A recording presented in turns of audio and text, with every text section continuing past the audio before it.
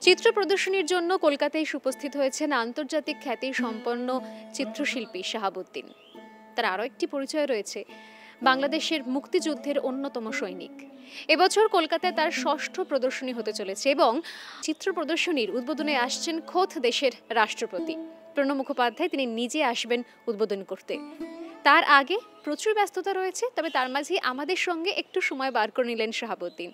শাহাবুদ্দিন, স্বাগত আপনাকে এবেলা ডট ইনের পক্ষ থেকে। কেমন লাগছে আবার কলকাতায় এসে?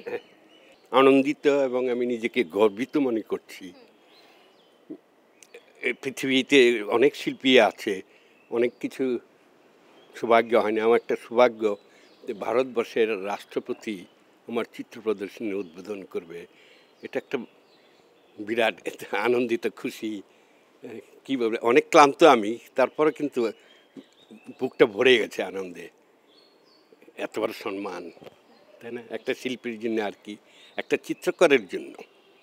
বিরাট প্রাপ্য। রাষ্ট্রপতিকে একটি বিশেষ উপহার দেবেন আপনি সেটা কি? তার চিত্র তার যে পোর্ট্রেটটা যাতে ঠিক মতন ভালো হয় ওটাই একটা উপহার আমার আমার অন্তর থেকে দিব ওনাকে। কলকাতায় আপনার ছবির এক্সিবিশন এটা কতখানি আপনাকে ইন্সপায়ার কতটা অনুপ্রেরণা দেয় আপনাকে? হ্যাঁ খুব দারুণ কথা।